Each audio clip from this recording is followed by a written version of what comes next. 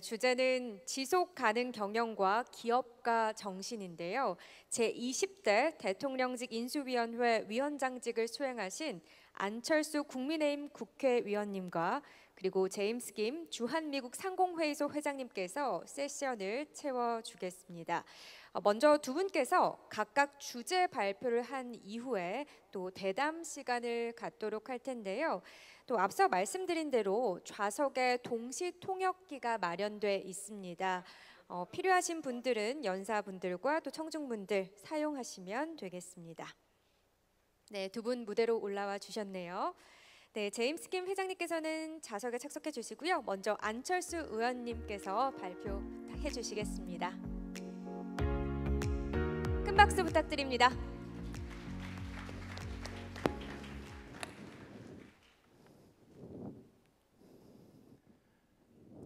많은 분들 정말 뜻깊은 자리에서 만나 뵙게 돼서 진심으로 반갑습니다. 어, 정말 시기적절한 때 정말 중요한 주제를 다뤄주신 어, 이데일리 관계자 여러분들께도 감사의 말씀드립니다. 크게 보면 주제가 세 가지입니다. 지속 가능 경영, 그리고 탄소 중립, 기업가 정신인데 제가 참 고민이 됐던 것이 이거 하나하나가 한 시간 이야기해도 모자랄 그럴 주제입니다. 근데 가능하면 축약해서 저 나름대로 가지고 있는 문제 의식을 뭐 각 주제별로 5분 만에 한번 말씀을 어, 드려보도록 하겠습니다.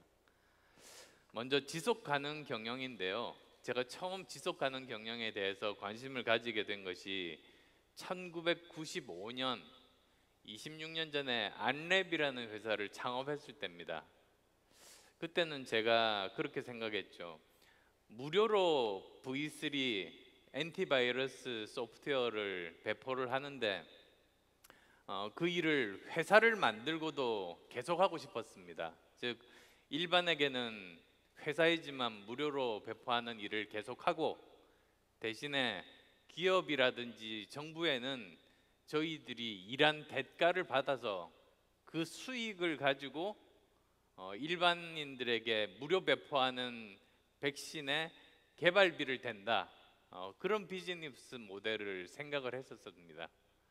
어, 많은 사람들이 말렸죠. 어, 그렇게 해서는 회사 망하기 딱 좋다고 그때까지 그런 그 비즈니스 모델이 없었거든요. 근데도 어, 그런 식으로 해서 그 정부로부터 어떠한 지원금도 받지 않고 어쨌든 자생적으로 공익적인 일을 하면서 동시에 어, 그 돈을 벌어서 어, 자생적으로 운영을 한다. 이제 그것을 이루기 위해서 처음 시작을 했습니다만 어, 다행히 이제 어, 그 모델이 제대로 동작을 했습니다. 그래서 안랩이 지금 창립 26주년이 넘었습니다만 지금도 어떤 그 정부로부터 지원금 받지 않고 어, 스스로 어, 돈을 벌어서 그 돈으로 계속 무료로 일반인에게 백신 프로그램들을 배포하는 일들을 계속 하고 있습니다. 그리고 그 당시에도 그게 어, CSR이라는 개념 아실 겁니다. 어, Corporate Social Responsibility. 그러니까 기업의 사회적인 책임이라는 이야기가 한참 나왔던 그런 때였었기 때문에 어, 아마 제가 음, 그 거기에도 공감을 해서 이제 그런 일을 시작을 했습니다. 문제는 측정하기가 어렵더라고요. 제가 얼마나 그 일을 잘했는지를 어, 과연 작년보다 올해 더 그런 일을 더 잘했는지를 측정하기가 어렵다는 게 문제였습니다. 경영학 원론에 나오는 말이 있지 않습니까? 측정하지 못하면 관리할 수 없다. 그러니까 관리하기가 굉장히 힘들었던 거죠. 그게 제가 그 당시에 안랩 CEO를 하면서 가졌던 그런 고민이었었는데 어, 다행히 이제는 그 저기 ES, ESG라는 개념이 나왔지 않습니까? 그러면서 제가 예전에 했던 고민이 좀 덜었던 것 같습니다. 사실 아주 그 거칠게 표현하자면 CSR을 어, 그 측정 가능한 형태로 만든 것이 사실은 그리고 또 그 범위도 훨씬 더 넓힌 것이 사실은 ESG라고 볼 수가 있는 거 아니겠습니까? 그러다 보니까 측정 가능하고 그 활동에 대한 측정이 가능하고 그리고 또 관리가 가능하고 투자자 입장에서도 투자자가 가- 가능한 어, 그런 지표이고 지금도 계속 이렇게 발전을 하고 있는 것 같습니다. 그리고 또 뭐 그런 형태에 따라서 블랙락 같은 전 세계적으로 가장 큰 그런 IV 같은 데서도 투자를 하기 시작하니까 어, 이게 어느 정도 대세를 잡아가고 있는 것이 아닌가 어, 그런 생각들을 해보게 됩니다. 두 번째로 또 말씀드리고 싶은 게 사실 탄소 중립입니다. 제가 안랩을 그 저 경영했을 때는 그 ESG 중에 두 가지만 생각했습니다. S 그러니까 일반에게 무료로 배포하는 어, 우리 함께 살아가는 사회에 있어서 어, 여러 stakeholder들이 있는데 그 사람들을 위해서 어, 공헌을 하는 것이 옳다는 그 생각. 그 다음에 또 거버넌스. 그래서 저는 스스로 제가 만든 회사지만 어, 그 경영에서 물러나서 거기에 그 어, 그 outside director들 그러니까 저 한국말로 뭐죠 그게 사외이사 아, 사외이사들이 훨씬 절반이 넘게 그렇게 지배 구조를 만들었었거든요. 그게 기업의 지속 가능성을 담보하는 길이라고 생각했기 때문에 이제 그랬습니다. 근데 제가 미처 관심을 못 쏟았던 게 ESG 중에서 이 분야였습니다. 근데 이 분야에 대해서 제가 관심을 가지게 됐던 계기가 바로 저 2019년이었습니다. 3년 전에 그때 스탠퍼드 대학 그 법대 방문 학자로 있을 때 알고의 강연을 들었습니다. 미국 부통령 했었던 알고 강연을 들었는데요. 이분이 그 말씀을 하시는 거예요. 이분이 2006년에 그 Inconvenient Truth 불편한 진실에 대해서 영화도 내고 어, 책도 내면서 아카데미상도 받고 노벨 평화상도 받을 때는 아 이제 세상이 바뀌겠구나 어, 그렇게 안심을 했다고 합니다. 그런데 오히려 그 이후로 상황이 훨씬 더 나빠져서 어, 이제는 이산화탄소가 매일 새롭게 만들어지는 양만 해도 하루에 1억 5천만 톤 공기가 1톤이면 어느 정도 부피가 될지 상상이 안 되시지 않습니까? 근데 CO2가 만들어지는 양이 1톤도 아니고 10톤도 아니고 100톤도 아니고 1000톤도 아니고 1억 5천만 톤이 매일같이 세계적으로 만들어지고 1년이면 510억 톤이 만들어지는 겁니다. 그래서 이제 이분 하시는 말씀이 이제 더 이상 지구가 예전 상황으로 돌아가는 건 불가능하다. 아주 단정적으로 이야기를 하더라고요. 이 리버서블하다. 그런데도 자기가 지금 계속 전 세계에서 이런 탄소 중립에 대해서 강연을 다니는 이유는 이걸 그냥 포기하고 방치했다가는 우리 지구에 우리 인류에 어떤 파국이 몰려들어올지 모른다는 그 불안감 때문에 자기가 지금도 열심히 다니고 있다. 그 말씀이 참 어, 가슴이 아팠습니다. 아시겠습니다만 이 그 탄소 중립 문제가 너무나 심각하지 않습니까? 매일같이 1억 5천만 톤씩 나오는 그 CO2 때문에 일어날 수 있는 그 수많은 일들, 예를 들면 이상 기온, 극심한 가뭄, 또 엄청난 폭우, 폭설, 산불, 해수면 증가로 인한 그 저 섬나라들의 침수라든지 해변가 도시들의 침수 그것뿐만 아닙니다. 이상 기온 때문에 곡창지대에서 곡물 생산량이 급감하면서 어, 식량 위기에 아마 조만간에 봉착하게 될 가능성이 저는 굉장히 높다고 봅니다. 벌써 지금 국제 곡물가가 굉장히 올라가고 있는 걸 봐- 보더라도 어, 아마 전 세계에서 가장 큰 타격을 받을 나라가 우리나라일 겁니다. 우리나라가 OECD 국가 중에서 식량 작업률이 꼴찌입니다. 지금 여기에 대해서도 사실 정부가 대비를 해야 된다고 제가 예전부터 주장을 했었던 바가 있고요. 무엇보다도 팬데믹입니다. 코로나 19가 사실 이렇게 퍼지게 된 직접 그 간접적인 이유 중에 하나가 바로 이 그 탄소 중립 문제 때문 아니겠습니까? 그러니까 지금 어, 인류와 어, 직접적으로 접촉하지 않은 바이러스가 혹시 몇 종 정도 되는지 혹시 아십니까? 그게 과학자들이 추정을 하는데 1.6 밀리언 160만 종이 아직 사람과 접촉을 못했습니다. 그래서 이제 과학자들이 이걸 그대로 놔두면 안 되겠다 싶어서 오지로 들어가서 야생 동물을 잡아서 어, 아직 인류와 접촉하지 않은 바이러스를 검사를 하기 시작한 거죠. 그래서 지금까지 연구가 끝난 바이러스가 3천 종 정도입니다. 어, 그래서 아직 한 159만 7천 종이 남아 있는 그런 셈이죠. 그 말은 무슨 말이냐면 앞으로 짧으면 3년, 길면 5년 내에 또 다른 팬데믹이 온다. 그건 기정사실로 받아들이고 국가 방역 시스템들을 마련하는 것이 꼭 필요하다는 어, 그런 생각입니다. 근데 뭐 제가 약간 둘러갔습니다만 많은 예전 예전 정부도 그랬고요. 많은 사람들 착각이 전기를 만들 때 탄소가 나오지 않으면 탄소 중립이 실현된다고 잘못 알고 있는 겁니다. 사실은 그 전기를 생산할 때 나오는 탄소는 전 세계적으로 전체 탄소 생산량의 27%밖에 안 됩니다. 그 말은 무슨 말이냐면 어, 전기 생산을 100% 신재생 에너지로 했을 때 줄어드는 탄소의 양은 27%밖에 안 됩니다. 그러니까 이걸로는 턱없이 부족한 거죠.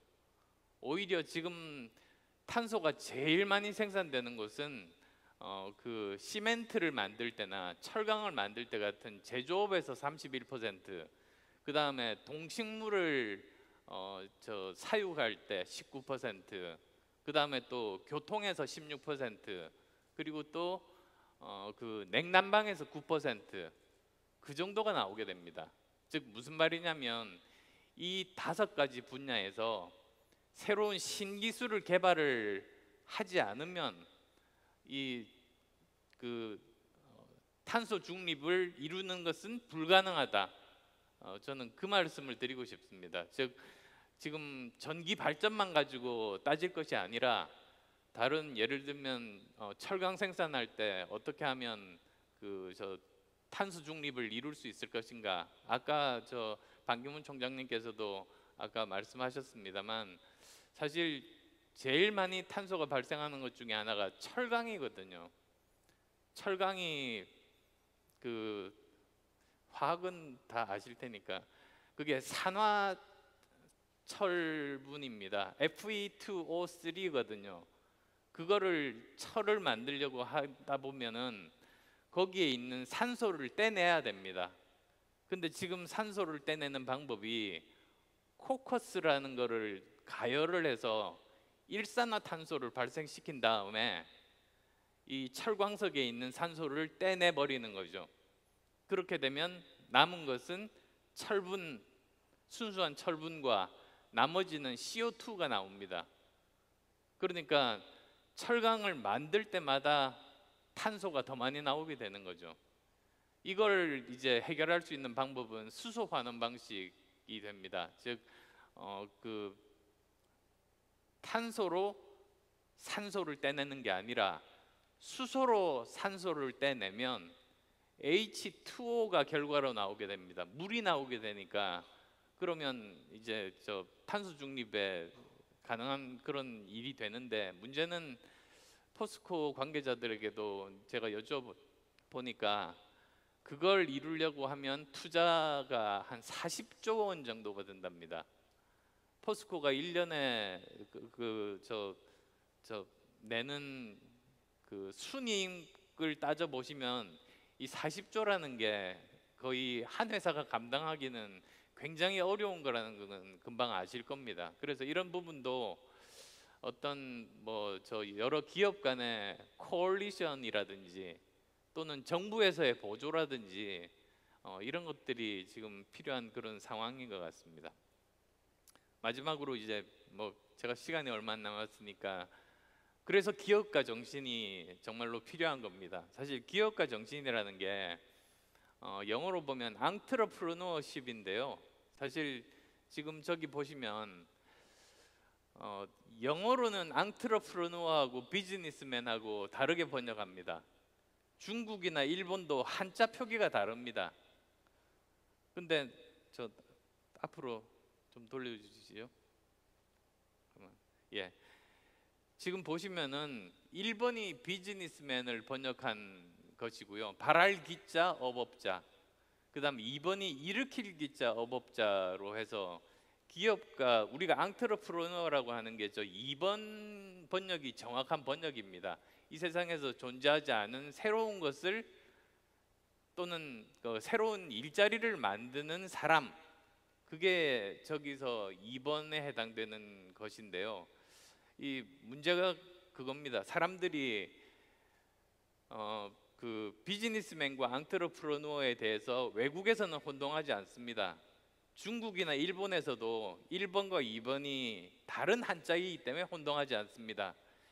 전 세계에서 유일하게 기업가에 대해서 잘못 알고 혼동하는 것은 한국밖에 없습니다.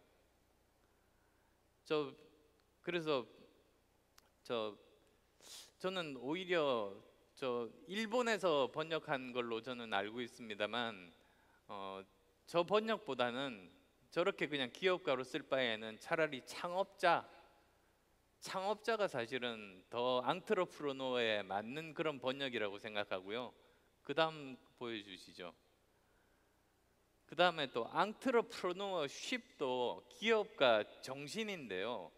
이 번역도 틀렸습니다. 뭐냐면 뒤에 저 어, 어, 어미의 쉽이 붙어 있는 것은 액티비티나 프랙티스를 말하는 것이거든요. 그러니까 저거는 창업 활동이죠. 기업가 정신은 저는 잘못된 번역이라고 봅니다. 어, 그러다 보니까 여기에서 여러 가지 혼동이 많이 생기는데요. 어쨌든 제가 주어진 시간이 약간 넘었기 때문에 어, 지금 제가 아까 말씀드린 그 탄소 중립을 위해서는 어, 전기 생산뿐만 아니라 다섯 분야에서의 새로운 신기술 개발이 필요하다. 그것은 모두 다 저런 어, 일종의 어, 그 앙트러프로너십, 어, 창업 활동 또는 어, 창업가들이 어, 새로운 신기술을 개발하는 것이 어, 결국은 그 할 수 있는 그 유일한 어, 해결책이다. 어, 그 말씀을 드리고 싶습니다. 예, 짧은 시간 경청해 주셔서 감사합니다. 네, 안철수 의원님 감사합니다. 자, 무대에 마련된 자리에 다시 착석해 주시면 되겠고요. 지금부터는 제임스 김 주한 미국 상공회의소 회장님께서 발표를 또 해 주시겠습니다. 큰 박수로 환영해 주시기 바랍니다. Hey, good morning. What an exciting forum today. You know, on behalf of AmCham, I just wanted to, first of all, uh, thank E. Daly and Chairman uh, Kwok Chez-hun for organizing this uh, outstanding forum. The very fact that uh, Chairman Kwok and E. Daly is hosting this forum shows you that Korea is committed to sustainability. We obviously heard from uh, you know, Prime Minister Han Duck-soo, who I've known for, for many, many years. I look at him as the king of Korea-U.S. relations. He actually led the Course FTA, and we're very thankful for his leadership. I also want to thank uh, the former UN Secretary General Ban Ki-moon, uh, who's really leading uh, not just for Korea, but globally. So I know that he gave us uh, some amazing insights as well. And uh, lastly, I'm, I'm very honored that I can share a stage with uh, National Assemblyman An Chul-soo.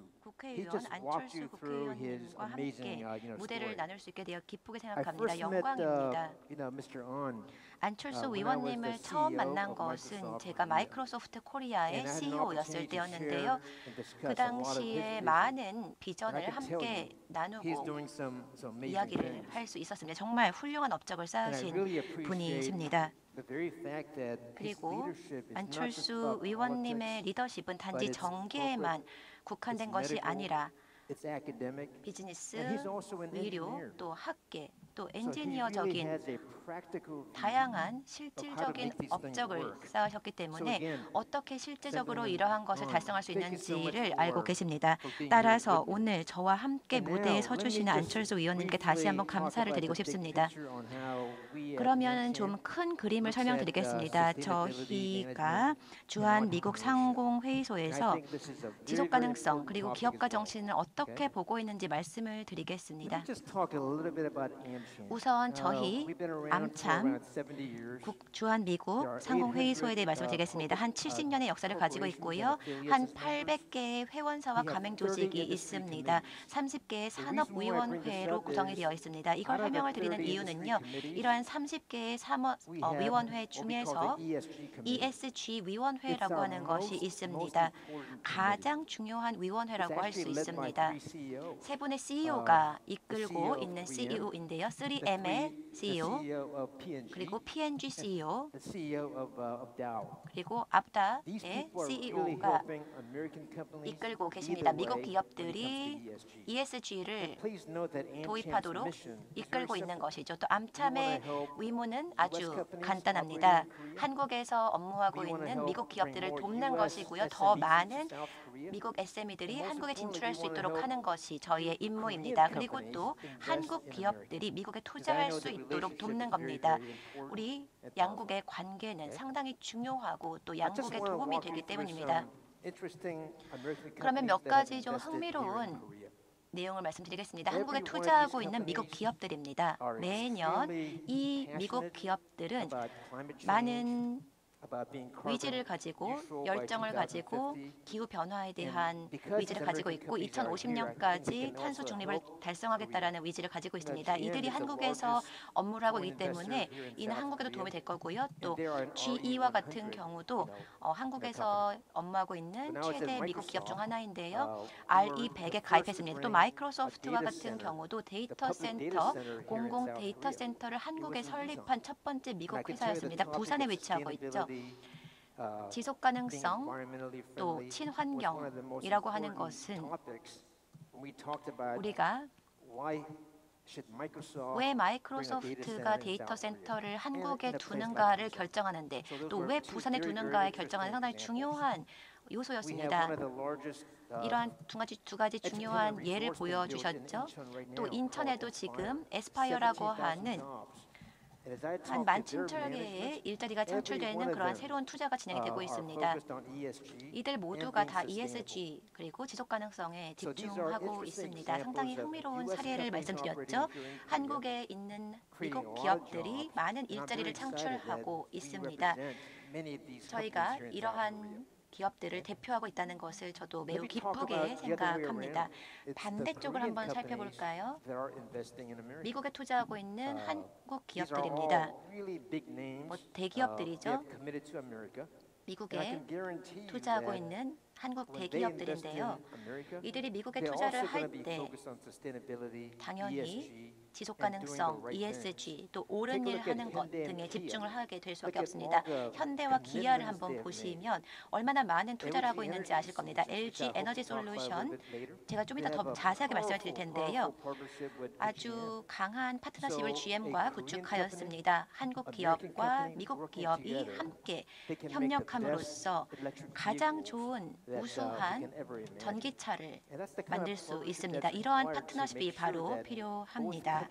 양국이 또. 양국의 기업들이 혁신을 주도할 수 있도록 하기 필요합니다. Company that 한화셀도 uh. 미국에 투자하고 있는 uh, 기업 중에 하나입니다. 상당히 좋은 예가 많이 있지요. 또 최근에 바이든 대통령과 윤석열 대통령의 어. 정상회담도 이러한 우리 양국 관계의 중요성을 보여주고 있습니다. 그러면 한미. 파트너십이 왜 중요한가 간략하게 좀 설명드리겠습니다. 여러분들 아마 보신 장표일 거라고 생각이 되는데요. 한국이 왜. 미국에 그렇게 중요한지 설명을 드리겠습니다. 한국은 미국에게 있어서 United States. 6대 교역국입니다. 미국은 또 한국에게는 두 번째로 큰 교역 상대국입니다. 이러한. 투자액 숫자를 한번 보시면 또 uh, 창출되는 일자리 를. 보시면 정말 놀랄 수밖에 없습니다. 아까도 말씀드렸다시피 uh, 한미 관계는 단지 교역 또는 통상에 국한된 것이 아니라 군사, 문화. 또 포함이 되고 절대 사라질 수 없는 겁니다. 저는 한국계 미국인입니다. 따라서 저는 양국 관계가 영구적이라고 생각합니다. 그리고 새 행정부의. 약속 그리고 바이든 정부의 그러한 의지에 대해서 많은. 기대를 가지고 있습니다. 최근에 저희가 조사를 했는데요. 더 많은 한국, 더 많은 미국 기업들의 아시아 본사가. 한국에 유치될 수 있도록 하기 위한 조사였습니다. 여기 보시면은요. 한국은 아시아에서 두. 번째로 가장 높은 선호도를 받고. 있습니다. Singapore is the only country that 싱가포르이 is 유일하게 한국을 앞서고 있습니다. So if I'm the government 따라서 한국의 정부로서 생각해 보시면은요. 정말 더 많은 투자를 유치할 수 있는 좋은 기회입니다. 하지만 to 또 사업체가 유치된다면 지속 가능성이 중요하고 또 탄소 중립도 2030. 중요합니다. 한국은 2050년까지 탄소 중립을 달성하겠다는 약속을. 했습니다. 여기 좀 사진을 준비했습니다. uh, 제가 윤석열 대, 대통령님 uh, 취임식 그리고. 어, 바이든 대통령의 uh, uh, 방한을 함께할 수 있는 영광을. 누렸는데요. 어, 그 당시 과거에 사실 어, 안철수 위원님도 어. 대통령 후보였고 저희가 uh. 함께 담화를 했을 때 지속 가능성과 환경성에 대해서 이야기를 많이. 했었죠. 그리고 저희 그 암참에 와서. 어, 윤석열 대통령님과 또 안철수 의원님께서 연설을? 하시면 사람들이 정말 감명을 받았습니다. 그리고. 안철수 의원님 같은 경우는 영어도 너무 유창하셔서 저희 암참에 와서 말씀을 하시면 많은 분들이 정말 많은. 감명을 받았습니다. 좀 이따가 더 함께 이야기를. 나누게 되어 we 기쁘생각하는데요. have 제가 uh, 이제는 한국 uh, 경제에서 탈탄소화에 대해서 말씀을 드리겠습니다. uh, 저는 전문가는 아니고요. uh, 오늘 오후와 topics. 걸쳐서 더 심도 깊은 전문적인 내용은 through kind of the 전문가 way we 분들께서 look 해주실. 겁니다. 하지만 저희 암참이 바라보는 uh, 상황을 말씀을 드리겠습니다. Index, 여기 지금 보시면은 uh, 성과 지수가 있죠. Uh, 예일의 you know, 환경 law and 법 policy. 정책 센터에서 Out of 나온 정, 180 어, 지수입니다. Both the US 180개 and 국가 중에서 한국과 미국 모두 그다지 점수가 높지 않습니다. 솔직하게 말씀을 드려서 그다지 좋지 않죠. 여기. 보시면은요, 어, 폐기물 관리는 한국은 to Korean 6위입니다. citizens 6위입니다. 상당히 좋은 소식이죠. 한국 시민들이 이러한. 폐기물 관리를 잘 하고 계시기 때문에 이렇게 높은 등급을 받을 수 있었습니다. 저희 집에서도 제 부인이 어. 분리수거에 대해서 정말 열심히 하고 있습니다. 한국 시민분들도 정말. 훌륭한 이러한 폐기물 배출, 분리수거를 하고 계시죠. 이렇게 훌륭한 성과를 보았을 때 한국은. 다른 부문에서도 분명히 리더십을 발휘할 수 있다고 생각합니다. RE100. RE100이라는 말씀은 들으셨을 거라고 생각을 합니다. companies globally 전 세계 기업들이 wanna be, you know, 100% 100% you know, on renewable energy. 재생 전력을 사용하겠다라고 약속하는 이니셔티브죠. And 61 companies 172개 기업들이 약속을 했고요. 어, 그 중에서 61개 기업들이 이미 RE100을 달성했습니다. 대부분이 미국 기업들입니다. 상당히 놀랍죠. 구글 같은 애플, 마이크로소프트 같은 미국 기업들이 이미 RE100을 달성했습니다. 하지만 한국의 상황을 we only have 보시면은요. 19 Korean companies 19개 participating. 회사만 I RE100에 can tell 함께하고 있습니다. 미국의 숫자는 훨씬 uh, 크고요. 영국. 일본, 또 훨씬 더 많은 기업들이 가입을 했습니다. 하지만 한국의 숫자가 이렇게 적어서는 안 된다고 생각합니다. 따라서 이 슬라이드는 저희가 좀 볼만한 흥미로운 장표라고 생각합니다. 또 다른 장표를 준비했는데요. 이 차트를 보시면 한국과 같은 경우는 OECD 국가들 중에서 재생 에너지 사용률이 최하위라는 걸 보여주고 있습니다. 이 숫자는 전혀 자랑스럽지 못한 상황입니다. 한국은 다양한 주요 매트릭스를 주도하고 있습니다. 초고속 인터넷 그리고 다양한 IT 부문을 주도하고 있는데 재생에너지 사용률은 최하위입니다. 화석 연료에 대한 의존도가 상당히 높은 거죠. 이러한 것은 우리가 그 어떠한 이유를 대도 변명이 될 수 없습니다. 조 바이든 대통령이 하신 어, 약속들인데요. 상세한 계획이 마련이 되어 있습니다. 2050년까지 넷제로를 달성하기 위한 그러한 계획인데요. 파리 협약을 재가입했고요. 또 2030년까지 미국의 배출량을 절반으로 줄이겠다는 위치를 바, 표명하셨습니다. 또 승용차 판매를 할때 어, 배출량이 제로일 것으로 요구하고 있습니다. 그리고 탄소세를 미 어, 유럽 국가들하고 도입하는 것을 논의하고 있습니다. 명확한 목표가 설정이 되고 명, 명확한 정책이 도입되면 달성이 될 수밖에 없습니다. 미국의 증권거래위원회는 이제 상장사들에게 정보를 공개할 것을 추가적인 정보를 공개할 것을 요구하고 있는데요. 아까도 제가 어, 안 대표님하고 이야기를 했지만 안 의원님과 이야기를 했지만 이러한 새로운 정보 공개 요청은 기, 한국 기업들에게 많은 압박을 가할 수밖에 없습니다. 여기 지금 보시면 더 청정한 지속 가능한 또 기후 친화적인 행동을 취하지 않으면 많은 위험이 발생할 수밖에 없다는 걸 보여주고 있습니다. 저조한 성과를 보여주고 있는 기업 어, 국가들이 표시되어 있는데요. 한국은 CO2 배출량은 많지는 않습니다. 하지만 온실가스 집약도가 상당히 높습니다. 이러한 것이 바로 우리가 해결해야 하는 이슈들입니다. 탄소 국경 조정세 제도가 들어오게 되면 한국에 대한 압박이 더 커질 거고요. 또 미국 증권거래위원회에 어, 기후 관련 정보 공개 요건이 도입되게 되면 한국이 더 많은 압박을 받을 수밖에 없습니다. 그래서 우리가 앞으로 가야 할 길은 바로 여기입니다. 지금 현실로 다가오고 있기 때문입니다. 몇 가지 말씀만 더 드리겠습니다. 희망의 말씀 또 조언의 말씀입니다. 훌륭한 성과를 달성한 해외 기업들을 유치해서 서로 함께 배울 수 있기를 바랍니다. 더 많은 재생 에너지를 확보해야 합니다. 한국은 아직 재생 에너지가 충분하지 않은데요. 더 많이 마련해야 합니다. 또 대중들의 인식을 향상시킴으로써 윈윈 상황을 만들어야 합니다. 또 더 국제적으로 나아가야 합니다. 아까 한덕수 총리님께서도 말씀을 하셨지만요. 한국이 어, 더 해외로 나아가서 리더십을 발휘하기를 기대하겠습니다. 여기서 제 오늘 발표는 마치겠습니다. 오늘 이렇게 안철수 의원님과 무대를 함께하게 되어 너무 영광스럽고요. 한 20분 정도 Q&A를 진행하도록 하겠습니다. 대담을 진행을 하도록 하겠습니다.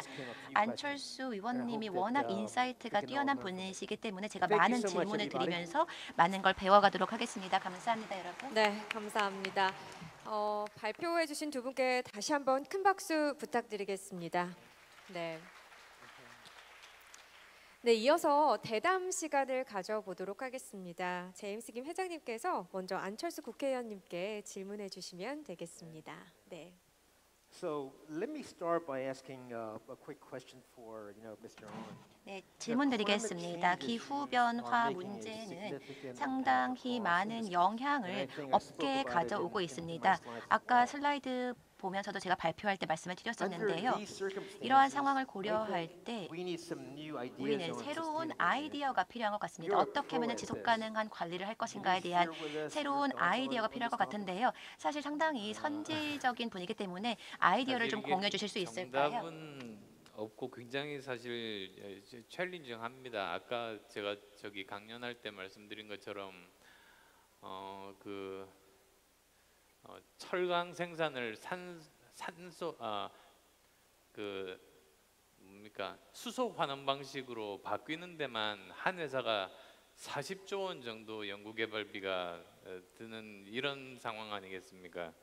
그러니까 어, 이거를 위해서는 한 회사가 감당할 수는 없고 오히려 저는 그 어, 국가적으로 같이 기업과 이 중요한 문제에 대해서 같이 투자를 하고 거기에 대해서 그 인텔렉츄얼 프로퍼티 거기에 대해서는 대신에 어느 정도 공유를 하면서 어, 이것을 뭐 수출 가능한 산업으로 만드는 게 그나마 우리나라 내부에서의 이 그 탄소 중립도 실현하면서 또 동시에 이것을 어, 세계에서 가장 좀 빠른 시간 내에 산업화할 수 있는 그런 길이 아닌가 저는 그런 생각들을 어, 하고 있고요. 그리고 또 지금 그 투자적인 관점에서도 사실 어느 정도 접근이 필요한 것 같습니다. 우리나라 국민연금 같은 경우에 세계에서 지금 어, 사, 4위인가요 지금? 어쨌든 굉장히 그 높은 수준인데요. 어, 이런 부분들에 대해서도 꼭 그 아까 블랙락에 대해서도 제가 말씀드렸습니다만 좀 더 그 저 투자를 강화를 하되 어쩌면 이런 방법도 가능하지 싶습니다. 지금 어느 정도 펀드 사이즈가 전 세계적으로 굉장히 큰 사이즈니까 어 약간 저 논란의 소지는 있습니다. 반으로 나누는 겁니다. 그래서 서로 경쟁을 하게 하는 거죠. 물론 한쪽을 민간으로 넘긴다는 말은 아니고요. 예를 들자면 마치 그 KTX와 SRT 둘 다 공공기관이지만 어쨌든 서로 이렇게 경쟁을 하면서 어느 정도 서비스에 대한 부분이라든지 어, 그런 부분들이 조금씩 좋아지는 것을 어, 소비자들이 느낄 수 있는 것처럼 어, 국가에서 운용하는 이런 국부 펀드 차원에서도 이것을 어, 최소한 반으로는 나눠서 서로 경쟁을 하게 하면서 또는 한쪽은 이렇게 ESG 쪽에 집중적으로 투자하고 한쪽은 또 다른 쪽으로 하면서 서로 또 비교도 가능한 것 아니겠습니까?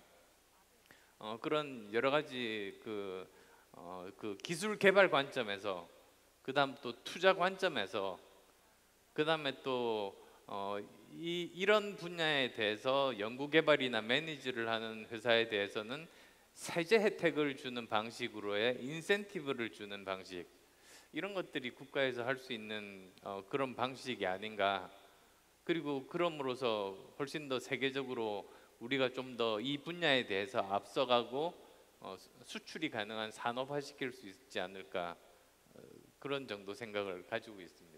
You know, thank you so much for such a deep and 네, 그러한 심도 uh, 깊은. insight가 is a 담긴 답변. 감사드립니다. 정말 안 의원님은 많은 걸 아는 특별한 분이신 것 같습니다. uh, 다음 질문 드리겠습니다. 기업의 사회적 책임에 대한 질문입니다. uh, 뭐 uh, 지속 가능성하고도 관련이 된 것이죠. 안랩을 처음 시작하셨을 때 상당히 흥미로운. CSR과 지속 가능성에 대한 업무를 진행하셨던 걸로 알고 있는데요. 그 당시에 안 or 의원님은 어. 안 의원님이 So, 진행하셨던 방식은 한국에서 그다지 어, 널리 알려진 그런 방식이? 아니었습니다. 그래서 어떻게 이 두 가지 컨셉을 진행하셨는지 궁금합니다.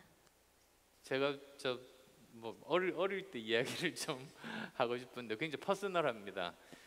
저는 어릴 때부터 책을 굉장히 많이 읽었던 편인데요.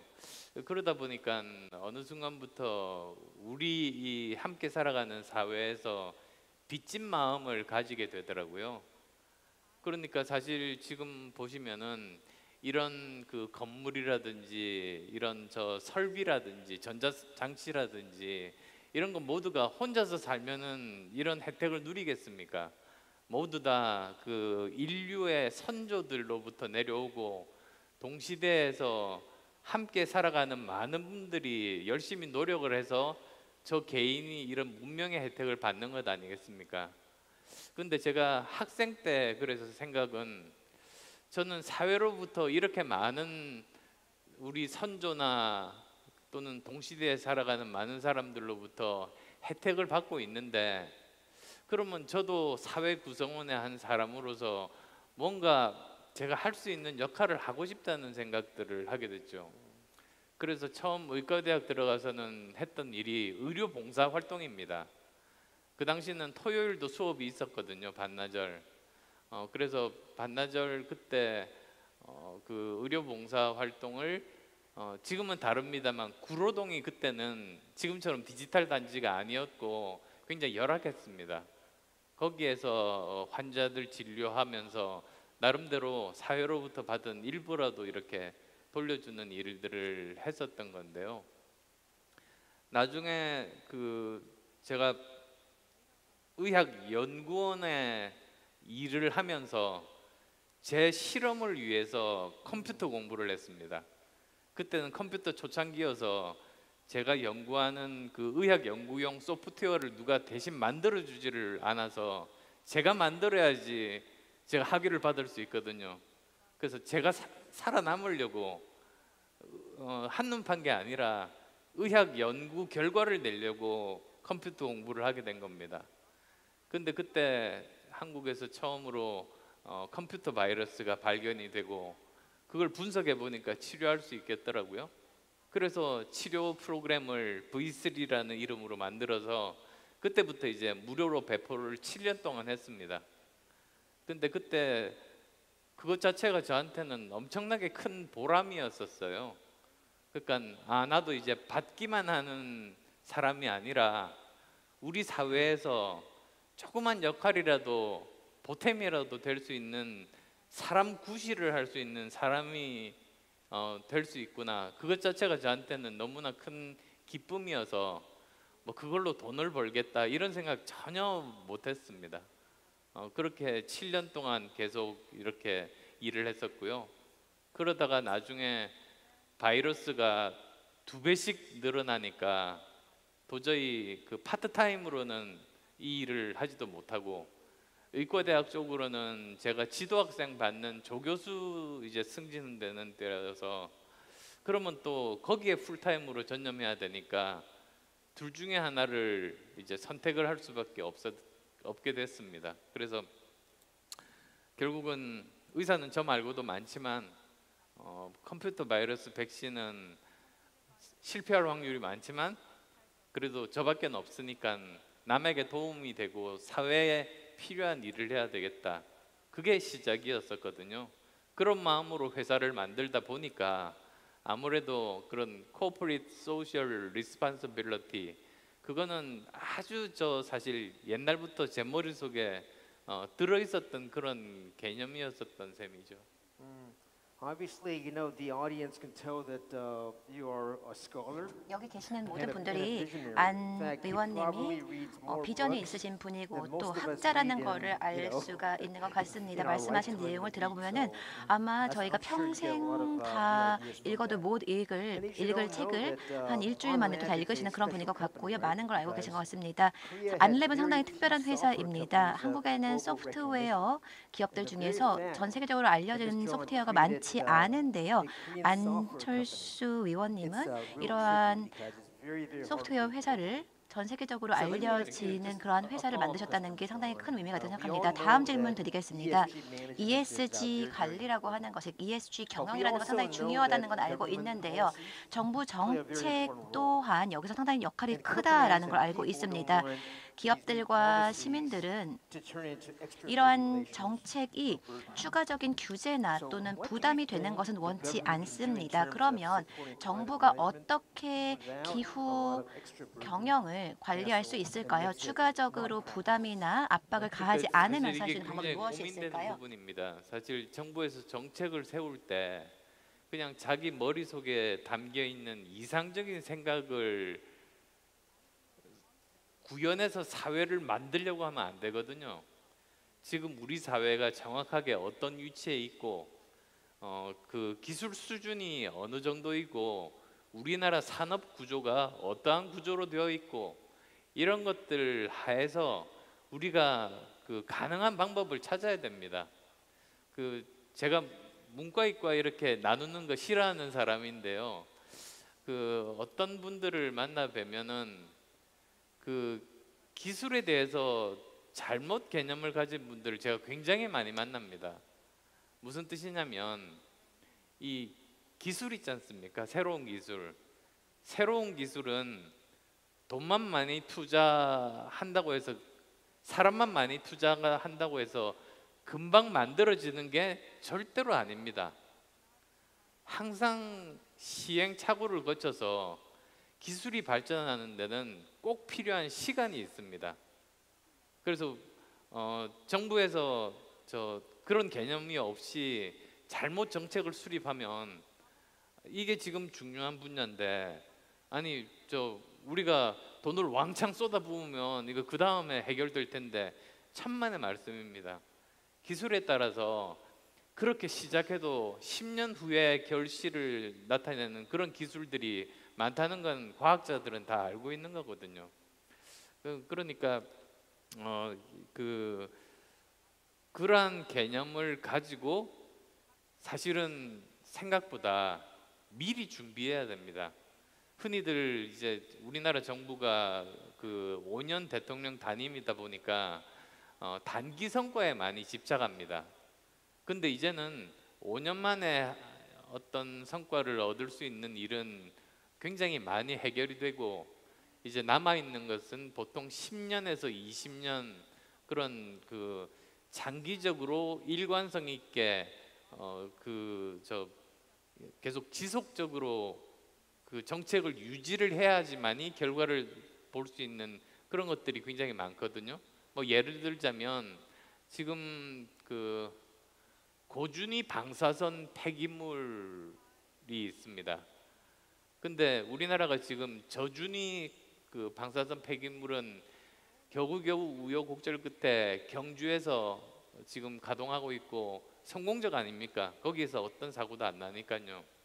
근데 이제 고준위 방사물 방사성 폐기물을 어, 처리를 해야 되는데 지금 현재 그 스웨덴과 핀란드에서 2025년을 목표로 지금 거의 다 지금 만들어가고 있습니다. 지하 500m 정도의 이제 그 고, 고준위 방사성 폐기, 폐기 물들 저장소를 하고 있는데 그 장소를 찾는 데만 한 20년 걸린 걸로 알고 있습니다. 사실 그러면 이번 정부부터 어, 그 장소 찾는 걸 시작을 해야 되거든요. 그리고 그 장소 선정을 할때 어, 그 부근에 다 주민들께서 사시기 마련이니까 거기에 적절한 인센티브와 그리고 제대로 된 설계 아마도 2025년에 그 핀란드하고 스웨덴에서 그게 가동이 되면 아마 전 세계적으로 다들 보고 있으니까 그 효과성이 증명이 될 겁니다. 그래서 어떤 사고도 나지 않고 안전한 설계라고 한다면 조금 더 우리가 그걸 도입을 하기는 쉽겠죠. 지금 이, 이대로 둘 수는 없거든요. 거의 지금 고준위 방사성 폐기물이 저장 장소가 없어서 그 지금 저 원전 내부에다가 그냥 거기 그 저장하고 있는데 지금 거의 다 차가고 있는 중이어서 이런 것들이 굉장히 시급합니다. 그래서 과학이라는 관점에서 보면 어, 지금부터 해도 늦은 분야가 굉장히 많다. 그래서 이번 정부부터 시작을 하면은 그 결과는 이번 정부에 나오지 않고 다음 정부나 그 다음 정부 정도의 결과가 나올 텐데 저는 그래도 그런 것에서 의미를 이번 정부는 찾았으면 좋겠습니다. 자기가 과실을 따지 않더라도 이 국가적으로 중대한 중장기 과제를 먼저 시작한 정부로 기록되는 거 그거 얼마나 영광스럽고 자랑스러운 일입니까? 저는 어, 그렇게 이제 사고 방식의 전환이 필요하다. 왜냐하면 과학은 시간이 많이 걸리는 일이기 때문에 어, 그렇게 그렇게 말씀드리고 싶습니다. I know that we're almost uh, up 네, to 거의 시간이 I 없는 건 알고 있는데요. 어, 질문이 또 어, Yeah. 의원님도 있는 걸로 알고 음. 있습니다. 질문해 주시겠습니까? 그 사실 제가 좀 지금 당장 우리 현안 닥친 것 중에 하나가 2023년에 내년에 그 탄소 국경세지 않습니까? 특히 이제 한국하고 미국이 그 대상인데 어, 거기에 대해서는 저 그 아마 미국 기업에서는 이미 대처를 하고 있을 것 같습니다. 그걸 좀 들려주시면 어, 여기 계신 한국 기업들도 어, 당장 내년의 일이니까 대처하는데 많은 도움을 받지 않을까 생각합니다. So just in the interest of time, let me just quickly summarize. 네, 시간이 별로 없기 때문에 간략하게 말씀드리겠습니다. 미국과 한국 기업들, 뭐 한국과 미국 정부가 어떻게 협력할 수 있는지 말씀드리겠습니다. 사업이 돌아가는 방식을 보면 우선 우리가 하나의 명확한 목표를 설정하고 나면 이러한 목표의 달성은 어떠한 선지자 또는 리더에 의해 지- 주, 어, 달성이 3M. 됩니다. They have 3M, specific 뭐 다우존스 이러한. 기업들의 예가 되겠는데요. 이들은 명확한 목표를 가지고 실행하고 있습니다. 그리고 윤 대통령과 바이든 대통령의 특별한 관계를 고려할 때 지금이야말로 우리가 함께 talking 변화를 위한 여정에 나설 최고의 uh, 시간이라고 생각합니다. economic framework. 인도 태평양 That's one way we can 경제 프레임워크 같은 uh, 것도 우리가 많은 기회를 찾을 수 ITEF 있는 infrastructure, 것이죠. 이러한 clean energy, 인도 태평양 and 같은 데에서도 탈탄소와 So 청정 those are 에너지에 areas in 대해서 이야기를 하고 있기 때문입니다. 그래서 한국과 미국이 이러한. 부분에서 함께 협력하면서 함께 그럼 저 어려움을 척결할 수 있다고 생각합니다. 회장님이 보시기에 지금 한국 기업들의 이런 탈탄소 뭐 아리백 관련해서 이런 일에 대한 대응은 어, 슈거 코팅하지 마시고 어, 어떻게 생각하십니까? 어떤 정도로 지금 평가를 하고 계시고 어떤 점이 좀 부족해서 이런 점을 보완하면 좋겠다 그런 말씀 좀 부탁드립니다. Well, I like to deal with facts, and in my presentation, 네, 저는 팩트를 두고 얘기하는 걸 좋아하는데요. 제가 RE100, 발표 중에서 RE100에 대해 말씀을 드렸었습니다. 372 companies in the initiative. 전체 Only 372개 19 기업들 중에서 어, 19개 기업만 한국 기업입니다. 좀 타당하지? 않다고 생각합니다. 그게 하나의 팩트이고요. 두 번째는 아까 보여드렸던 장표 중에서 한국이 energy. 재생 에너지 사용률이 OECD 국가 중에 최하위라는 것도 보여드렸습니다. 이 요소들이 무슨 의미를 갖는지 다 아실 겁니다. 따라서 우리가 행동할 수. 있는 아이템이 무엇인가, uh, 어떠한 행동을 취해야 하는가 알 수 있다고 uh, 생각합니다. 한국 정부의 그린 a 뉴 good 딜 indicator right 같은. 것도 상당히 좋은 지표라고 생각합니다. 한국 uh, 정부는 KRE100, 또 KRE again 100도 asks the 시작을 했습니다. 한국 기업들로 하여금. 더 지속 가능성을 갖추라라는 어, 촉구이겠죠. 또 오늘 하고 있는 이 이 데일리 전략 포럼만 보아도 그렇습니다. 한국 기업들, 한국의 언론, 한국 정부가 함께 협력함으로써 그 미래를 기후 변화에 대해서 잘 준비해 나갈 수 있도록 하는 것을 보여주고 그, 있습니다. 어, 기업들 각각의 기업들도 노력이 중요하지만 또 정부 차원에서 서로 그 서로 협력할 것들이라든지 서로 어, 지원할 것들이라든지 있지 않겠습니까? 그런 국가 간의 협력 관계에 있어서 굉장히 중요한 어젠다들이 뭐가 있을지가 좀 궁금합니다. I think I uh, summarized my uh, my presentation. 네, 제가 uh, 발표 마지막 정리할. 때 몇 가지 우리가 행동을 해야 하는 내용들에 대해서 말씀을 드렸었습니다. 마지막 장표에서요. 한국과 미국의 생산적인 관계 그리고 어, 양국 대통령의. 아주 그런 긴밀한 관계를 보았을 때 이러한 조치를 uh, 저희가 행동으로 취할 최적의 시기라고 생각합니다. 또. 한국은 더 많은 외자 유치를 통해서. 성장해 나갈 수 있는 생태계를 가지고 있습니다. 우리는 for everybody. 함께 함으로써 더 큰 again, 만들고 더 함께 성공해 나갈 수 있는 환경을 만들 수 있습니다. 오늘과 같은 이러한 세션도 상당히 좋은 교육적인 세션, uh, 교육적인 tool이 uh, 된다고 생각합니다. 지금 시간이 별로 없다고 계속 신호를 uh, 주시는데요. 다시 한번 이렇게 저희가. 대담을 나누고 Uh, 말씀을 드릴 기회를 주셔서 너무나 감사하다는 말씀을 드리고 싶습니다. 안철수 의원님은 정말. 한국의 진정한 리더이고 지속 가능성의 리더라고. 생각합니다. 저도 외국인이라고 할 수 있는데요. 한국에 이러한 것을 보면 정말 많은 기대가 되고요. 또 오늘과 내일에 걸친 포럼에서 많은 것을 배워가기를 기대하겠습니다. 감사합니다. 네, 정말 열띤 대담 시간을 갖다 보니까 어느덧 한 시간이 금방 또 지나가 버렸습니다. 의미 있는 내용으로 한 시간 꽉 채워주신 두 분께 다시 한번 큰 박수 부탁드릴게요. 네, 감사합니다.